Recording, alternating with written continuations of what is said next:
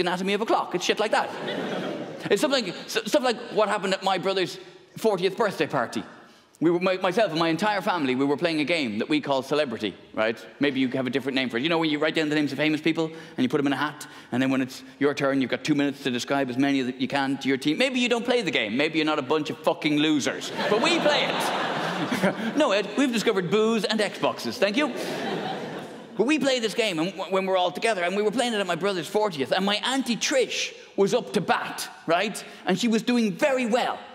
She had gone four in a row quite quickly, but then she hit a speed bump in the form of the name Steve Jobs, CEO of Apple Computing. Another window into just how nerdy my whole family are. but this is the sort of celebrity we'll put into a game of celebrity. What about George Clooney? Fuck him, what did he invent?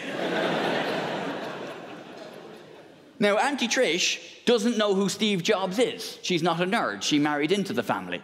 So she's struggling but she knows how to play the game. God bless her, right? She sees that she goes, right, the first name is as in McQueen from The Great Escape. Steve, yes.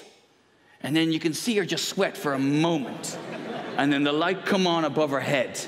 And then she points at her own husband, my Uncle Cahill, who was made redundant in the recession. I swear this is true. And she points at him and she goes, the surname is You've not got one of these anymore. well, we fell about. We fell, most of us, but not my mother, because I haven't even reached the funny bit yet.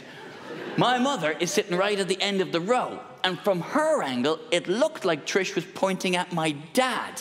And my ma went, Who the fuck is Steve Prostate?